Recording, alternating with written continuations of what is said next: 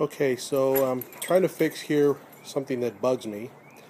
I've got this gate in my backyard, and uh, through the years, it started to loosen up and started dragging. So I'm to see if I can do a couple of things to fix it. Okay, so we're, we're back to my door that was dragging. As you can see, what I did is took some more uh, deck screws, added them across the boards there, and uh, actually you did a pretty good job. It lifted up the door now to where it doesn't drag. Actually goes right to back to the closed position pretty good. So I think this easy fix worked. Uh, thanks.